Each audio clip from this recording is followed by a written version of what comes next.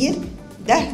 بيأثر على ما يتعلق بنصيب الفرد من الإنفاق على التعليم متوسط نصيب الفرد من الإنفاق على التعليم متوسط نصيب الفرد من الإنفاق على الصحة السكن